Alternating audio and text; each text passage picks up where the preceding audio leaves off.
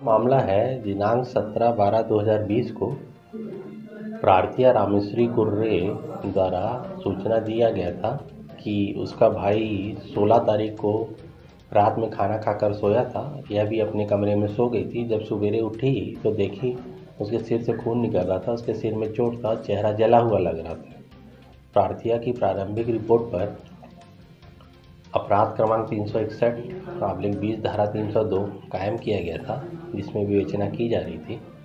लगातार प्रयास किया जा रहा था अगल बगल वाले गवाहों, मुखबिर, साइबर सेल, डॉग स्क्वाड, सबकी मदद ली जा रही थी।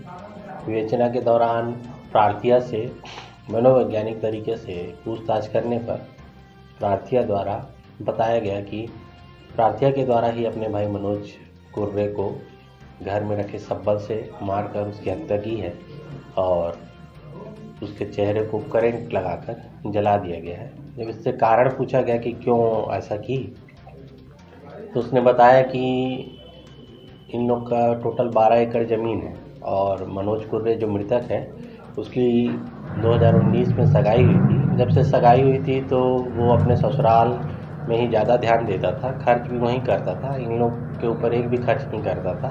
यहाँ तक कि जो घर की आवश्यक ज़रूरत है राशन, दवाइयाँ, ये सब भी लाकर नहीं देता था और इन लोग से नौकरों की तरह काम करवाता था और दो टाइम का अच्छे से खाना भी नहीं खा पाते थे। और कुछ इन लोग बोलते थे तो जो प्रार्थिया और आरोपिया है, इसकी एक बहन और पिताजी दिमागी हालत ठीक नहीं है, यही बस एक समझदार लड़की थी। तो जो कभी बोलती थी तो उसको मारपीट भी करता था। उसी से परेशान होकर, त्रस्त होकर आरोपिया ने उस प्रताड़ना से हमेशा के लिए छुटकारा पाने का प्लान बनाया और रात में सोते समय सब्बल से मारकर उसकी हत्या कर दी और बिजली करंट से उसके चेहरे को जला दिया। गिरफ़्तार करके न्यायिक रिमांड हेतु न्यायालय भेजा गया